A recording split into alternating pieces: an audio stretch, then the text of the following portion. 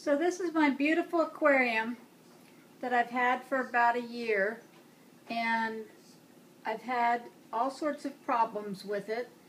Uh, I've lost about seven fish even though I've taken the water samples to the tropical lagoon and had it tested. Everything seems to be okay with the filters. I've got two different specialized filters, um, about $300 filters, and the last fish they seemed to think was a bacterial infection of his stomach. The fish just seemed to stop eating and die. They don't have any other outward signs other than that. And it's really hard to see them suffer um, before they die. And let me show you this one fish here that is on its way out. This is my last fish that I'm going to show you in here. See that blue fish down in the bottom there laying on his side?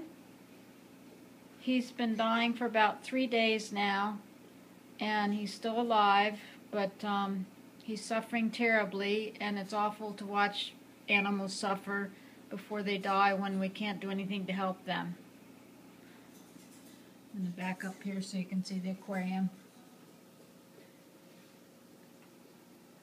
Um, mainly I just want to talk about the idea of being suffering and the fact that even though you may seem to think that you're in a wonderful realm of happiness and joy, all around you beings suffer and we need to uh, recognize to do prayers for all the beings in the world that have suffering in this world alongside us and um, dedicate any positive things you do each day for the benefit of all beings and help them so that they may um, relieve their suffering and not suffer as much.